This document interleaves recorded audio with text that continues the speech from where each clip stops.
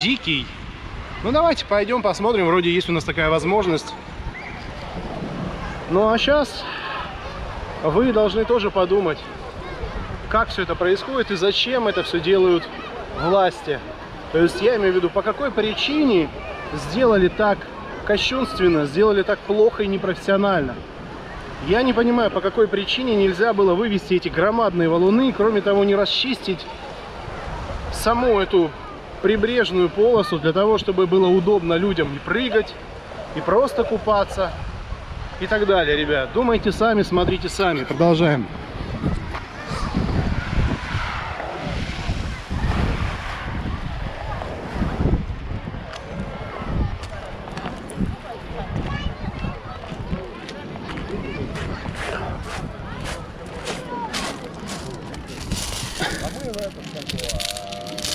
Ну, сами видели, что там какие-то перья от чаек.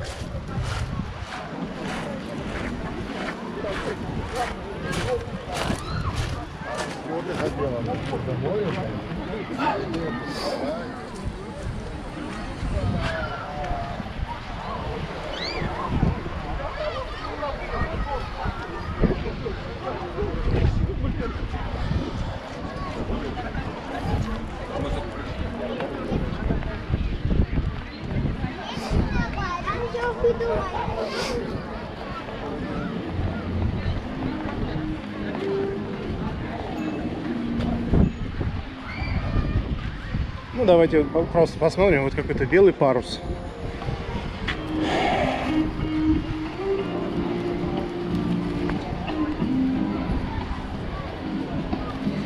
Селедка под водочку. Правда, здесь водочки нет, просто селедочка. Овощное рагу или овощи, там что там было, куриный суп. 150 рублей 300 грамм, в принципе неплохо. Э, что это такое? Мангал настольный, 2000 рублей практически. Картошка фри, соусы. Фри 100 рублей за 120 грамм. Есть пицца, десерты, хачапури. А? Ну, естественно, само собой коктейли и все такое. Но, несмотря на это, посмотрите, цены вроде нормальные, а вот людей по какой-то причине нет. Здесь тоже только бухгалтера, и вот с той стороны кто-то есть.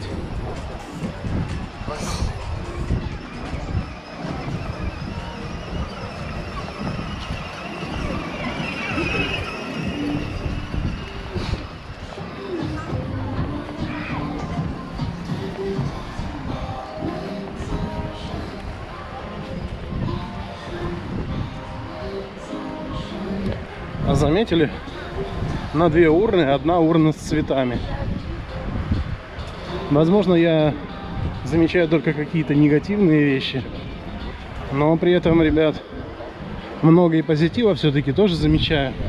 То есть глаза профессионального фотографа видят множество красок, множество людей, всякие моменты, ну, действительно яркие, эмоциональные, но при этом ржавые вот эти вот корыта, вот крепления, видите, они все ржавые. Здесь на людей все будет падать.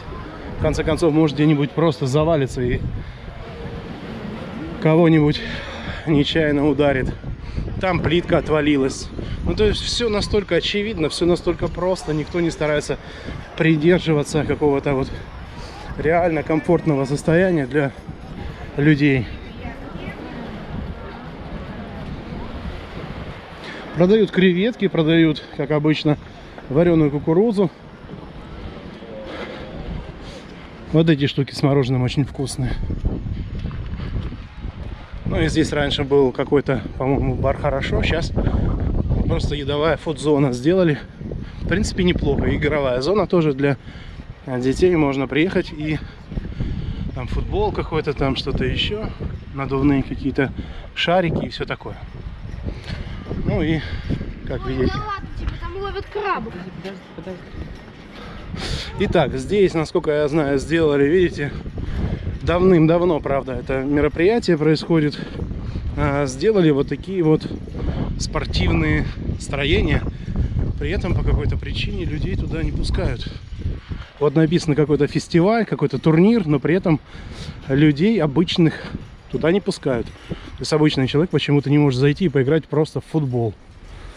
Во всяком случае, с этой стороны все закрыто. Цепь, цепь. Давайте я покажу. Это, конечно, непонятно для кого это сделано и по какой причине здесь все это закрыто. Обратите внимание. Замок. Я в солидоле уже в каком-то. В общем, ужасно. Ну давайте смотреть дальше. Кстати, хочу обратить внимание на столб. Во-первых, его состояние фонарей, да, самих плафонов. Ну и смотрите, что здесь. Не покрашено даже было. А хотя нет, возможно было покрашено, но это, видите, через пару лет оно рухнет. Ну и вот как сделана сама зона. То есть огорожена вот таким здоровенным бордюром. И уже не важно, что там. Не важно.